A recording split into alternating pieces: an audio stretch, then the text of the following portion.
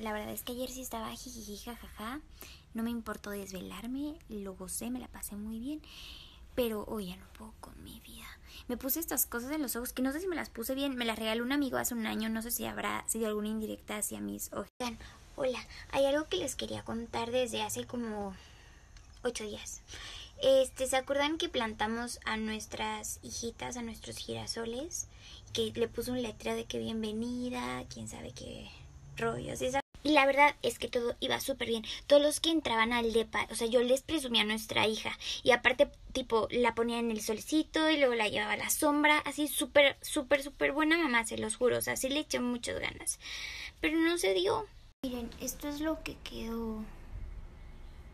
Y no, lo, no quería quitar esto hasta mostrarles a ustedes. Oigan, estoy preparando a mi ser y a mi corazón para Perú. Y estando en México pido comida peruana. Oigan, ¿no es esto lo más tierno que han visto sus ojos? Oigan, el cevichito ya pasó a otra vía mejor. Nos mandaron estas como, como tostaditas de atún y estas tapitas. Y esto está muy bueno. Oigan, mi familia y mis amigos son lo más lindo del mundo. En verdad.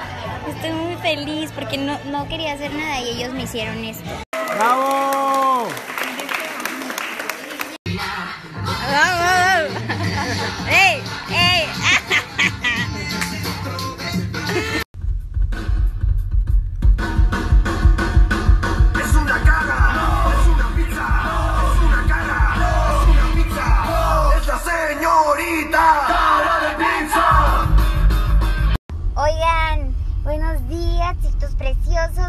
Quiero decir que estoy demasiado feliz y me desperté súper volada por todos sus mensajes que me han mandado de feliz cumpleaños.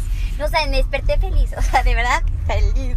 Les quiero agradecer mucho. Acabo de llegar a un lugar que me da un poco de temor porque me van a sacar sangre. Ahorita seguimos platicando. Porque es que me había sentido un poco mal, entonces como para nada estar en paz, me vine a sacar unas pruebitas, pero ahorita, ahorita. Dije, no me la vaya a espantar, ¿eh? ¿Para qué quiero? Ay, hijos. Ya casi termino. Ok, está bien.